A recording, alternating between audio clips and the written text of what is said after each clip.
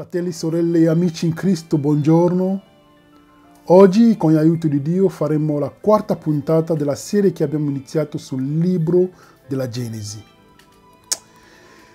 E oggi in modo particolare faremo, parleremo dell'importanza del libro della Genesi e faremo anche un'introduzione a questo libro.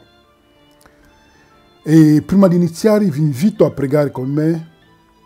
Padre, ti ringraziamo per questo momento che ci dai Grazie per il tuo Spirito Santo di cui ci riempirai per poter essere ancora più innamorati di te, per amarti ancora di più.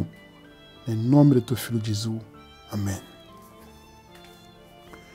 Quindi come abbiamo detto oggi in modo particolare faremo una, uh, daremo l'importanza di questo libro e se ci ricordiamo nell'ultima puntata abbiamo parlato dell'attacco che c'è stato che c'è sul libro della Genesi, perché sono quelli che dicono che i libri e le storie raccontate nel libro della Genesi sono, sono miti, leggende, sono metafore. Però abbiamo visto che non è proprio così. Abbiamo visto che Gesù Cristo è stato, è esistito veramente, che Gesù Cristo è esistito nel tempo di Tiberio Cesare che Gesù Cristo è esistito nel tempo di Pilato, di Erode, quando Pilato era governatore della, della Giudea. Quindi e, e vediamo che se neghiamo l'esistenza di Adamo ed Eva, neghiamo l'esistenza di Gesù Cristo che è esistito veramente. Perché in Luca 4 è scritto che Gesù Cristo è della genealogia di Adamo. Se neghiamo Gesù Cristo, neghiamo Abramo, neghiamo Davide, che sono i loro padri nella carne. E neghiamo anche Adamo che è suo padre nella carne. Quindi e vediamo, abbiamo visto che anche i discepoli attestano l'esistenza di Adamo, di Abramo, di, di Giacobbe, di Noè. E oggi parleremo, come abbiamo detto, faremo l'introduzione e parleremo dell'importanza di questo libro. Di solito le persone non studiano il libro della Genesi prima di studiare altri libri e vanno nel libro, vanno nella, nella Bibbia e a un certo momento devono sempre tornare indietro. Perché? Perché non possiamo capire il corso di una storia oppure la fine di una storia senza aver capito l'inizio della storia. E cosa significa Genesi? Genesi significa inizio, origine. Quindi il libro della Genesi è il libro delle origini. E vediamo che il libro della Genesi spiega l'origine del cosmo, l'origine delle piante, degli animali, l'origine dell'uomo, della donna, l'origine del peccato, l'origine della morte, l'origine della redenzione, l'origine delle nazioni, l'origine delle lingue, l'origine di Israele, l'origine degli arabi, l'origine degli africani, l'origine di altre nazioni. Quindi vedremo che la Genesi, a differenza degli insegnamenti della teoria dell'evoluzione, presenta una breve cronologia del pianeta Terra. Descrive i primi 2500 anni della storia della no- del nostro pianeta. Quindi uno studio dei suoi contenuti rivela che è stato scritto da Mosè circa 1500 anni prima. È importantissimo il libro della Genesi. E possiamo vedere che, fratelli e sorelle, noteremo una cosa importantissima che avevamo visto nell'ultima puntata che c'è stato un attacco frontale contro il libro della Genesi. E questo attacco fa sì che se qualcuno non crede nel libro della Genesi, non potrà credere neanche in tutto il resto della Bibbia. Perché se dico che Adamo ed Eva non sono esistiti veramente, che sono solo metafore, oppure miti o leggende, allora sono in pericolo. Allora mi potrò, mi potrò anche fare la domanda, perché leggere il resto della Bibbia? Gesù non avrà senso, quando invece vediamo che Gesù è la discendenza di Adamo, la discendenza di Adamo ed Eva.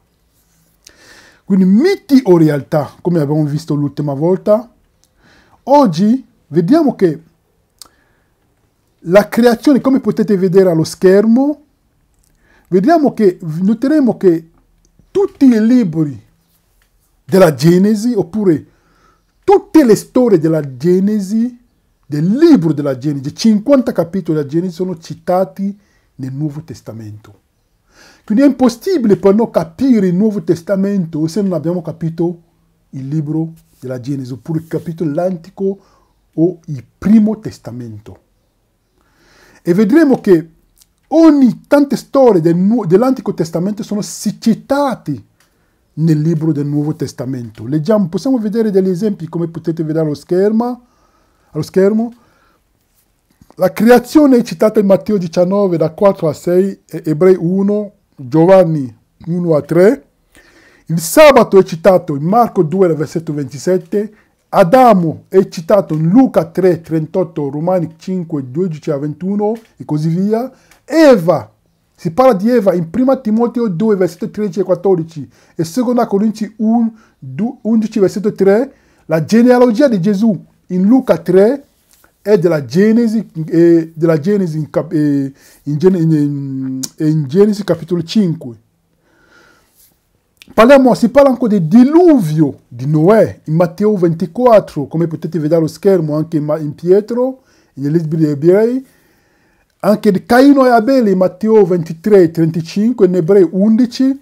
Enoch è parlato in Giuda 14 a 15, Ebrei 11, versetto 5 le nazioni alla torre di Babele sono scritti, di cui sono, sono parlati, uh, sono citati negli eh, Atti degli Apostoli, capitolo 2, da versetti 8 a 11.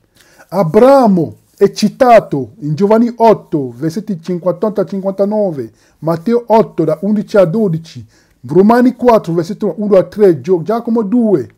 Quindi vediamo queste storie, fratelli e sorelle, sono citate Sara, si parla di Sara in Ebrei 11, di Lot, di Sodoma, di Gomorra, in Luca 7, 17, in 2 Pietro, di Isacco, di Ismaele, di Giacobbe, di Esau, i dodici figli di Giacobbe, di Giuseppe, di Agar, tutti sono citati nel libro del, del Nuovo Testamento. Quanto è bello! Vediamo che in realtà il Nuovo Testamento è l'Antico Testamento rivelato. E l'Antico Testamento è il Nuovo Testamento velato. L'Antico Testamento è il Nuovo Testamento velato e il Nuovo Testamento è l'Antico Testamento svelato. Quindi è importantissimo capire l'Antico Testamento, particolarmente il libro della Genesi. E possiamo vedere anche qua allo schermo come potete vedere, sempre che tutto è una storia che continua, perché il libro della Genesi è anche la storia di due posterità, fratelli e sorelle. La storia del libro della Genesi ci cita la, le, le, le, il conflitto no? fra i due semi. E ricordiamoci quando in Genesi 3, versetto 15, Dio dice al serpente, io metterò inimicizia fra te e la donna, fra la tua progenie e la sua progenie. Egli ti schiaccerà il capo e tu le ferirai il, cal, il calcagno. In realtà questa storia è la storia di due semi. E vediamo che il conflitto fra il serpente e la donna di Genesi 3, versetto 15, come potete vedere allo schermo, è la stessa storia che si trova in Apocalisse. Fra, quando si parla in Apocalisse in Apocalisse uh, 12, quando si parla del serpente e della donna, non possiamo capire la storia del fra il dragone di, Gen- di Apocalisse 12 che si infuria contro la donna e contro la progenie che è Gesù Cristo, senza aver capito Genesi capitolo 3, dove in realtà era stato narrato questo. Si è trascorso in modo, è successo in modo letterale nella storia, Però queste storie, non solo Genesi 3:15, tutte le storie della Genesi sono una profezia che dovevano avvenire nel Nuovo Testamento. Sono una profezia. Possiamo prendere, ad esempio, il conflitto fra la proprietà della donna e quella del serpente. Il conflitto fra il serpente e il seme della donna. Il conflitto è lo stesso conflitto fra Caino e Abele. E vediamo che in Genesi 6 c'è un ecumenismo, c'è un, un, un'unione fra i figli di Dio e i figli degli uomini. Cosa significa essere figli di Dio? Un figlio di Dio è chi è?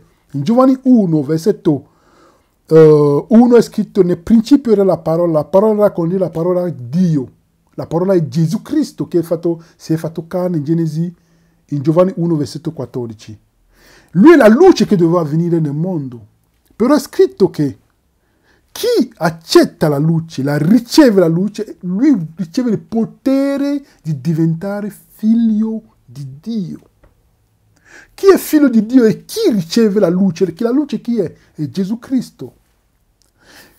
I figli di Dio chi sono? Sono solo quelli che camminano non secondo la carne ma secondo lo spirito. E vediamo che in Genesi 6 c'è un'unione fra i figli di Dio e i figli degli uomini. C'è questo ecumenismo di quello che si vede oggi, l'ecumenismo. E per poter capire questo dobbiamo capire come cosa è successo in, in Genesi 6, da 1 a 4. C'è il conflitto fra Caino e Abele, che è rappresentato anche dal conflitto fra Isacco e Ismaele. Chi è nato secondo la carne e secondo lo spirito? Vediamo che il conflitto è sempre lo conflitto fra Giacobbe e Esaù. Quindi, sempre la storia, il conflitto fra i due semi. Dio ha detto, io metterò inimicizia fra te e la donna, fra la tua progenie e la sua progenie. Al serpente lui dice, ci sarà sempre questa guerra fino alla fine dei tempi. E che è la stessa guerra che continua fra Lot e gli abitanti di Sodoma e Gomorra. È la stessa, stessa guerra fra Noè e i figli, gli antediluviani. È la stessa storia. È la stessa storia fra Giuseppe e i suoi fratelli. Lo stesso, stesso, stesso conflitto fra i due semi. È lo stesso conflitto fra, fra eh, le, il buon grano e la zizzania. Quello che si trova nella parabola del buon grano e la zizzania. È lo stesso conflitto che si trova in Apocalisse. Quando si dice i figli degli uomini si alzeranno per uccidere i figli, che decreteranno, ci sarà un decreto per uccidere i figli di Dio, che non che loro che, che avranno il, marchio, il sigillo di Dio sulla fronte. È lo stesso conflitto dei due semi, delle due posterità, che è iniziato già in, in, in, Genesi 4, quando Caino uccide suo fratello. Quindi Genesi, il libro di Genesi è la storia dei due semi, fratelli e sorelle. Quindi negare il libro della Genesi è passare oltre e mancare qualcosa di importantissimo. E il libro della Genesi è il libro delle origini. Come possiamo vedere, la Genesi parla della fisica. In Genesi 1, versetto 3. In Genesi 1, versetto 3 è scritto e lo Spirito di Dio alleggiava sulle superfici delle, delle, delle, delle acque. E in Genesi 1 eh, parla della teologia, Genesi 1, 1 a 2, cosmologia, di cronologia, il tempo, quando inizia il tempo, la geografia, la botanica, l'astronomia, la geologia, l'antropologia, la sociologia, la psicologia, la geologia. E vediamo che il libro della Genesi parla anche della geologia, della filosofia, della, filo, della filo, la filologia, anzi, la filologia, dell'etnologia in, in ebrei, in, um, in, um, in Genesi 10, con l'aiuto di Dio faremo, oltre a tre capitoli, i primi tre capitoli della Genesi, faremo anche il capitolo 10, perché il capitolo 10 è importantissimo per l'origine delle nazioni, come le nazioni si sono sviluppate, per poter parla, parlare della questione di, poter parlare della questione de, delle razze, per poter... Eh, fare in modo che noi possiamo ricevere la luce, una luce maggiore a, proposito, a, a riguardo. Le Genesi, la Genesi parla di filosofia, la Genesi parla anche già di geologia. Sappiamo che, sapete che il libro della Genesi aveva già detto che la terra girava già nel libro di Giobbe, prima che Galileo scoprisse che la terra girava perché prima si pensava che la terra non girava. Però, eh, per, per, però la, la terra è rotonda. Loro pensavano prima che la terra era piatta, si pensava. La Genesi parlava già di tutto questo. La Genesi è l'inizio di tutto, delle paure, della, della depressione, delle guerre, tutta la Genesi per poter avere un quadro completo della storia dobbiamo andare dove è iniziato tutto. E possiamo vedere che nel primo capitolo a Genesi è scritto nel principio Dio creò i cieli e la terra. La terra era in forma e vuota, le tenebre coprivano la faccia dell'abisso e lo Spirito di Dio alleggiava sulla superficie delle acque. Notiamo una cosa, fratelli e sorelle amici, è che l'autore del libro della Genesi non cerca di provare la, la, l'esistenza di Dio. Lui assume l'esistenza di Dio. E possiamo vedere anche in Deuteronomio 29, versetto 29, che è scritto le cose nascoste sono eterne. Il nostro Dio, le cose rivelate dipendono da noi e dai nostri figli. E in Giobbe 11, versetto 7 a 9, riesce a trovare un modo per sondare Dio? Riesci a sondare alla perfezione l'Onnipotente, alla perfezione? È alto come il cielo, cosa puoi fare? È più profondo dell'inferno, cosa puoi capire? La sua estensione è più lunga della terra e più ampia del mare. Il nostro Dio, chi lo può capire, fratelli e sorelle e amici? Noi siamo alla ricerca di Dio, facciamo questi studi come abbiamo detto, mettiamo le denominazioni da parte. Che io sia cattolico, evangelico e tutto, mettiamo tutto da parte e cerchiamo di ragionare. Chi può spiegare Dio? Dio si rivela, vedremo fratelli e sorelle, si rivela nell'umiltà. Se noi stiamo alla ricerca di Dio e che andiamo a cercare Dio con pregiudizi e con ribellione, non lo troveremo. Dobbiamo essere come dei bambini e lui si rivelerà a noi. Questo è il segreto per poter trovare Dio. Se Dio potesse rivelarsi, rivelasse così a chi è solo intelligente, a chi è solo intelligente, si sarebbe rivelato a tutti i grandi di questo mondo, i filosofi, i, filosofi, i scientifici. Quindi noi, per poter capire Dio, per poter trovare Dio, dobbiamo andare nel trovare, cercarlo con umiltà. Nell'umiltà che potremo trovare Dio. E abbiamo anche qua il Salmo 90, versetto 2. Prima che i monti fossero nati e che tu adesso avessi formato la terra e l'universo, anzi, da l'eternità in eternità tu sei, da eternità a eternità tu sei Dio. Quindi Dio chi lo può capire? Chi può capire Dio? Ma ci sono quelli che di solito si fanno la domanda, ma chi è Dio? Chi può dimostrare che Dio esiste? Ci sono quelli che si fanno questa domanda. Oppure chi ha dato, chi ha dato nascita a Dio? Ci sono queste domande che la gente si può anche fare. E vedremo che ci sono anche quelli, gli atei, che dicono che Dio non esiste. Ma vedremo che se riflettiamo, perché noi siamo qua per riflettere, Dire che Dio non esiste significa che noi dobbiamo essere Dio per dire che Dio non esiste. Perché? Vedremo le caratteristiche di Dio. Quali sono le caratteristiche di Dio? Le caratteristiche di Dio sono onnipotenza, onniscienza e onnipresenza. Chi affirma, afferma che Dio non esiste deve essere il Dio lui stesso. Deve avere le caratteristiche divine. Quindi ci sono quelli che si fanno la domanda chi ha creato Dio? Quindi notiamo che è assurdo per qualcuno che non crede in Dio dire che Dio non esiste. Perché per dire che Dio che non esiste, devo essere onnipotente, onnisciente e onnipresente. Quindi deve essere, io devo essere onnipresente in ogni posto nel mondo per poter dimostrare che Dio non esiste.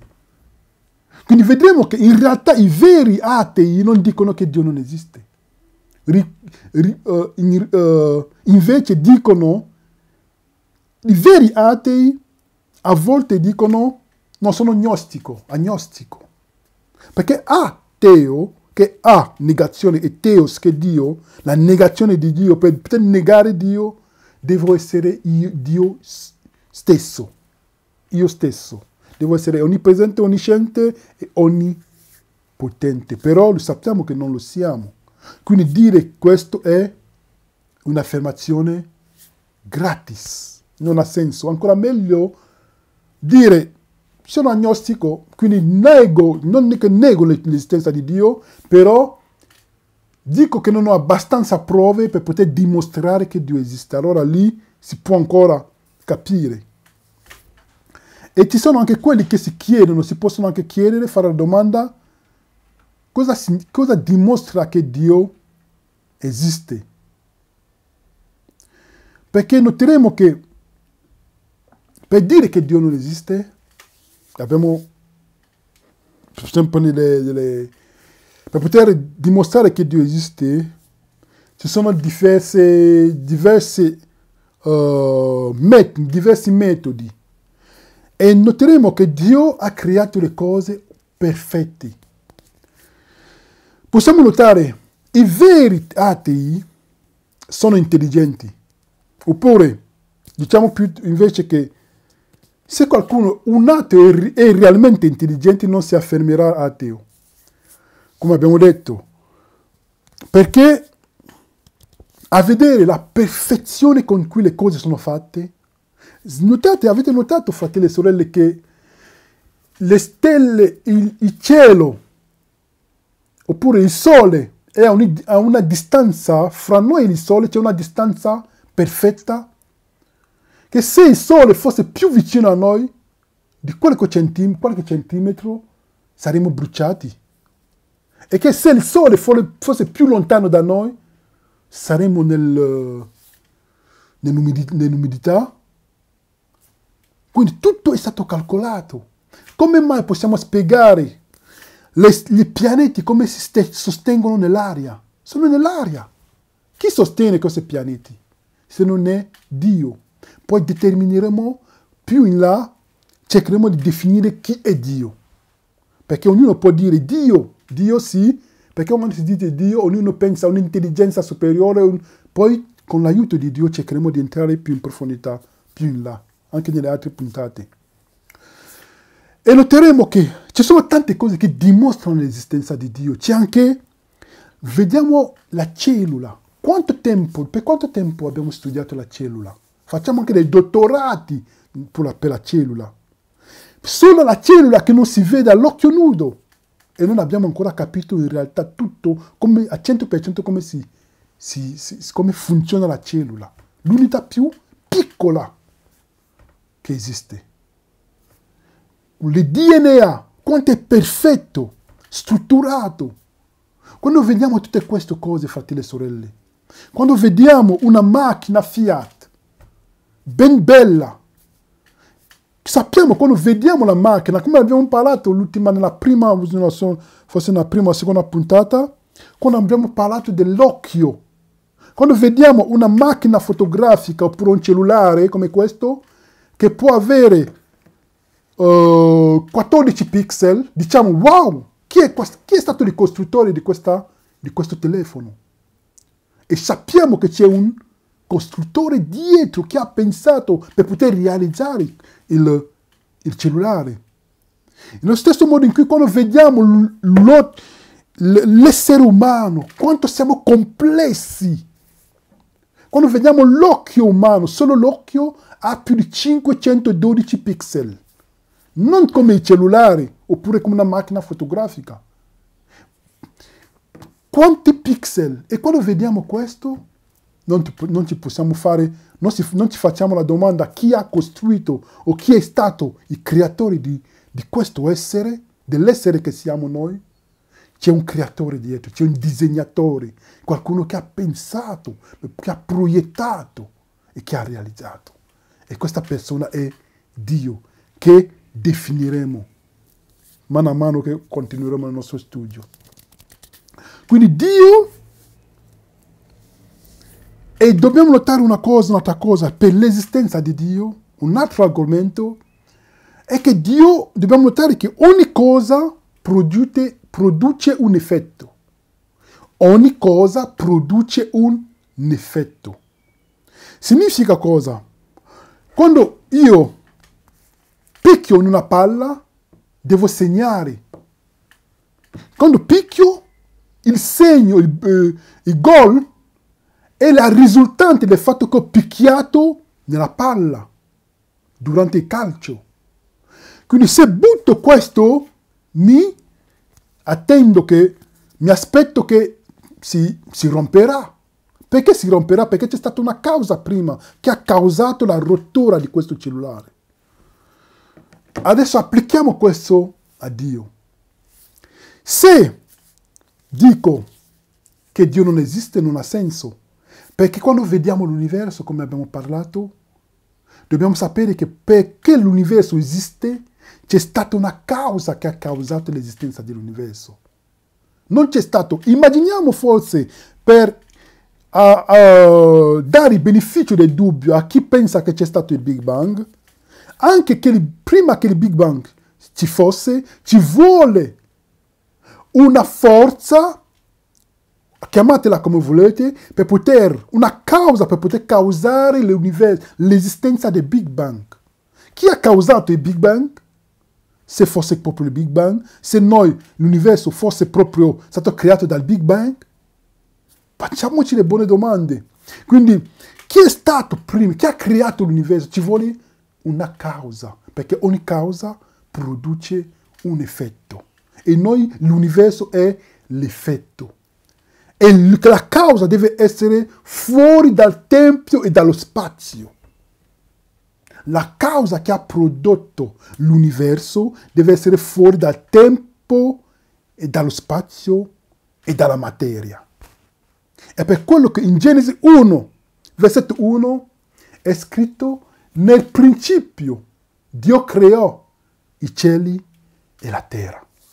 Ci spieghiamo meglio con questo schema. Nel principio, alla creazione, vediamo, nel principio è il tempo, Dio creò i cieli, spazio e la terra, la materia. E dobbiamo notare, fratelli, sorelle e amici, che il tempo, lo spazio e la materia devono esistere nello stesso momento. Il tempo, lo spazio e la materia devono esistere nello stesso momento. Quindi chi causa il tempo, lo spazio e la materia deve essere fuori dal tempo, dallo spazio e dalla materia. Quindi il nostro Dio, il mio Dio, è fuori dal tempo, dallo spazio e dalla materia. E il tempo, lo spazio e la materia non possono avere un effetto, non possono influire il mio creatore, perché il mio creatore, perché se il tempo, lo spazio e la materia influiscono il mio Dio, il mio creatore, il mio Dio non è più Dio. Quindi la domanda secondo la quale chi ha creato Dio non avrà senso, perché chi ha creato Dio deve essere la causa di Dio, però Dio è Dio, Dio è Dio d'eternità in eternità. Quindi Dio è l'alfa e l'omega e nessuno può creare Dio. Questa è la domanda Quindi fare la domanda chi ha creato Dio non ha più senso. Perché se qualcuno ha creato Dio non è più Dio. Quindi il mio Dio, il mio creatore è fuori da questi tre, da questi tre elementi. Quindi questo è per l'esistenza, l'esistenza di Dio. E abbiamo visto che, come abbiamo visto nelle altre puntate, che c'è qualcuno che dice che il Big Bang siamo stati creati, che l'evoluzione e la creazione vanno insieme. No, abbiamo visto nelle altre puntate che no, non è vero. E qua facciamo un piccolo, una, un piccolo um, uh, ricordo. Ricordiamoci che avevamo detto che se la creazione è vera, significa che c'è un solo Dio, un solo creatore. Se l'evoluzione è vera, non c'è creatore. Se la creazione è vera, c'è un codice morale. Se l'evoluzione è vera, non c'è legge morale. Se la creazione è vera, la vita ha uno scopo. Se l'evoluzione è vera, la vita non ha uno scopo. Quindi vediamo e poi possiamo anche vedere qua, se la creazione è vera, se l'evoluzione è vera, l'uomo evolve, non, bisogno, non c'è bisogno di un salvatore, non ha bisogno di un salvatore. Se la creazione è vera, l'uomo è una creatura, creatura con una natura del peccato, ha bisogno di un salvatore. Se la creazione è vera, l'uomo porta la morte nel mondo. Se l'evoluzione è vera, la morte porta l'uomo nel mondo. Se la creazione è vera, c'è una vita dopo la morte. Se l'evoluzione è vera, non c'è vita dopo la morte. Se la creazione è vera, c'è speranza per la vita futura. Se l'evoluzione è vera, non c'è speranza per il futuro. Per il futuro. Notiamo che creazione e evoluzione non vanno insieme. Non possono, non possono vivere insieme. Sono due cose diverse. Abbiamo visto che se l'evoluzione è vera, c'è determinismo. Non c'è libero arbitrio. Abbiamo visto che se la creazione è vera, c'è il libero arbitrio. E quelli che predicano che, non, che noi continueremo a, a trasgredire la legge, la legge, di Dio fino a quando Gesù tornerà, in realtà stanno, in realtà stanno promuovendo la, l'evoluzione, il determinismo, la fatalità. Quindi Dio, l'uomo non ha più scelta. Quindi fratelli e sorelle, e abbiamo visto l'argomento importantissimo è l'argomento morale. La gente rigetta Dio sulla base della moralità. Se Dio avesse detto fate quello che volete, tutti sarebbero cristiani, tutti. Però, visto che Dio dice camminate secondo le mie vie, l'uomo non vuole perché pensa che la legge di Dio è una restrizione. Però vedremo più avanti quanto è bella questa legge che mi protegge, che ci protegge, che sono come le mura che Dio stabilisce davanti a me per permettere che il nemico non, non, mi, toccare, non mi possa toccare.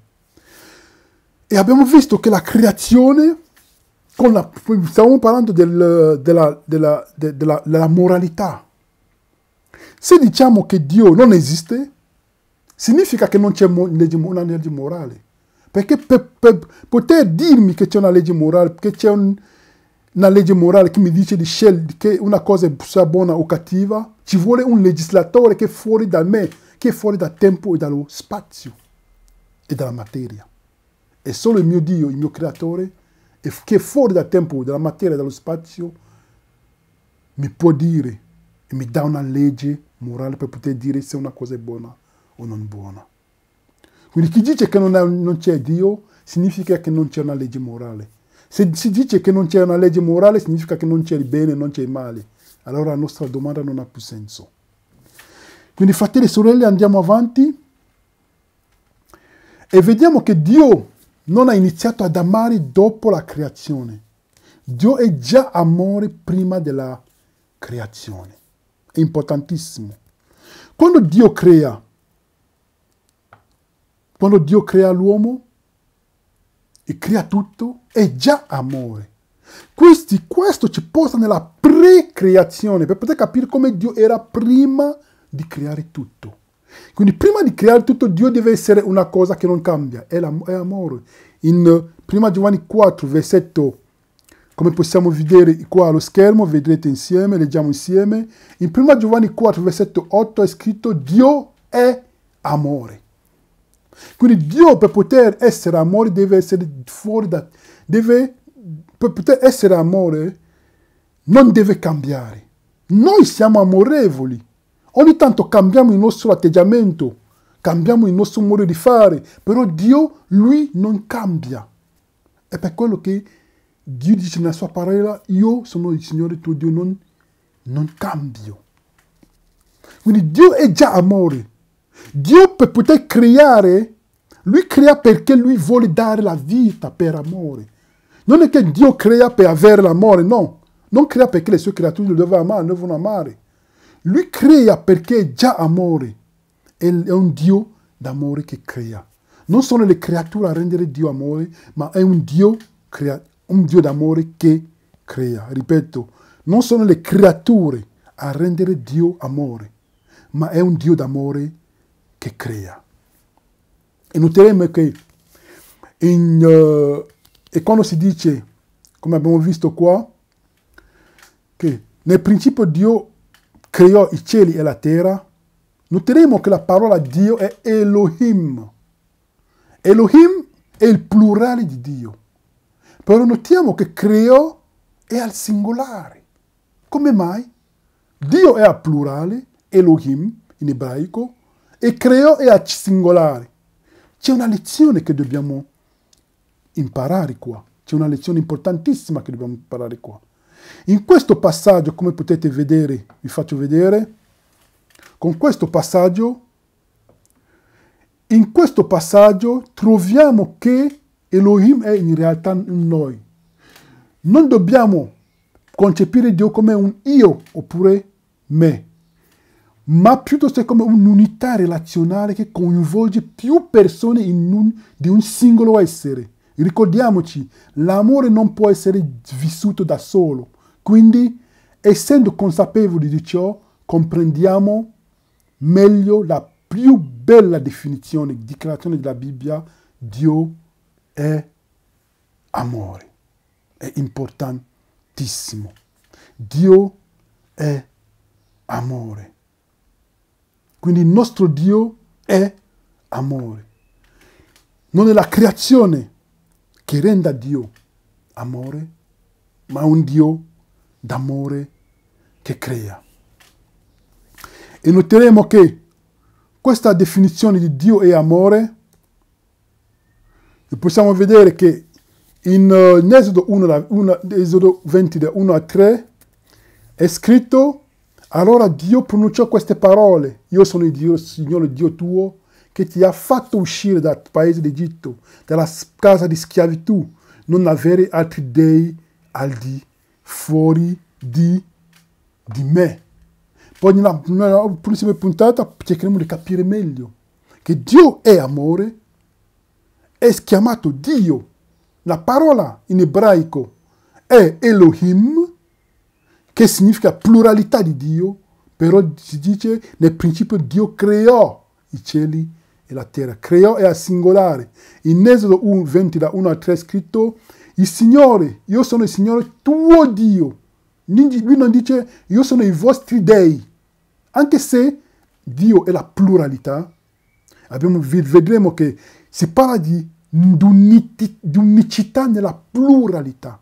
Unicità nella pluralità. Io, Dio non è singolare, però Dio è plurale nell'unità, un'unità perfetta. E lui dice, nel versetto 3, come abbiamo detto, non avere altri dei al di fuori di me, non al di fuori di noi. E vediamo anche altri passaggi in cui lui parla di, di noi, di una perfezione, l'unità nella perfezione. La perfezione nell'unità. E con questo, fratelli e sorelle, e poter dimostrare un po' cos'è Dio, cosa significa Dio, la pluralità di Dio, ne parleremo anche bene nella prossima puntata. E questa introduzione per poter capire che Dio, prima di tutto, è amore, prima di creare il mondo, era già amore perché lui non cambia. E questo Dio d'amore che permetterà, che dirà, facciamo l'uomo a nostra somiglianza. Che Dio ci benedica e ci dà il suo spirito, che possiamo con il suo spirito cercarlo come si trova nella parola.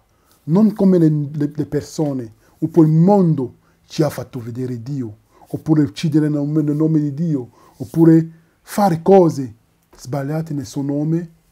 Questo non è il Dio della Bibbia. Che Dio ci benedica e ci dia il suo spirito in modo che possiamo ogni giorno scoprire i tesori che sono nascosti in Lui, nel merito di Gesù Cristo, nostro unico Salvatore. Amen.